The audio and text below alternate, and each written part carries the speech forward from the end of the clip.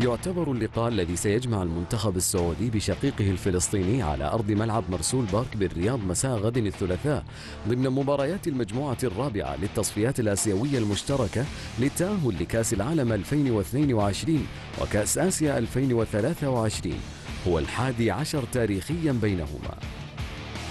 حيث سبق وأن التقى المنتخبان في عشر مواجهات سابقة تنوعت ما بين رسمية وودية كسب الأخضر ستا منها. بينما انتهت الأربع مباريات الأخرى بالتعادل. ولم يسبق للمنتخب الفلسطيني أن حقق الانتصار على المنتخب السعودي في أي لقاء جمع بينهما. بداية المواجهات كانت في بطولة الألعاب العربية الخامسة التي أقيمت في سوريا عام 1976 وانتهت لمصلحة الأخضر بثلاثة أهداف لهدف ثم تقابل المنتخبان عام 1992 في بطولة الألعاب العربية السابعة في سوريا أيضا. وتزامنت مع بطولة كأس العرب وانتهى اللقاء لمصلحة المنتخب السعودي بهدفين لهدف. اللقاء الثالث الذي جمع المنتخبين كان في بطولة التضامن الإسلامي الأولى التي أقيمت في السعودية عام 2005 ويومها حقق المنتخب السعودي الانتصار بثلاثة أهداف نظيفة.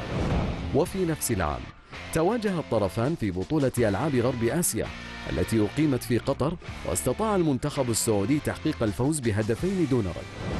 خامس المواجهات جمعت المنتخبين الشقيقين في بطولة كأس العرب التاسعة التي استضافتها السعودية عام 2012 ويومها كان التعادل الأول بينهما حينما انتهت المباراة إيجابيا بهدفين لمثلها. وفي عام 2013 تقابل المنتخبان للمرة السادسة وكانت لحساب بطولة اتحاد غرب آسيا التي أقيمت في قطر وانتهى اللقاء بالتعادل السلبي بدون أهداف سابع المواجهات كانت في لقاء ودي أقيم في الدمام عام 2014 وكسبه الأخضر بهدفين دون رد.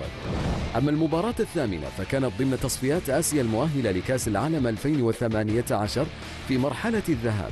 وأقيمت عام 2015 في الدمام واستطاع المنتخب السعودي الانتصار بثلاثة أهداف لاثنين. وفي لقاء الإياب الذي استضافه استاد عمان الدولي بالأردن عام 2015 كانت المواجهة التاسعة التي آلت نتيجتها للتعادل السلبي بينما كانت آخر اللقاءات التي جمعت المنتخبين الشقيقين في شهر أكتوبر من عام 2019 ضمن مرحلة الذهاب لتصفيات آسيا المؤهلة لكأس العالم 2022 وانتهت أيضا بالتعادل السلبي.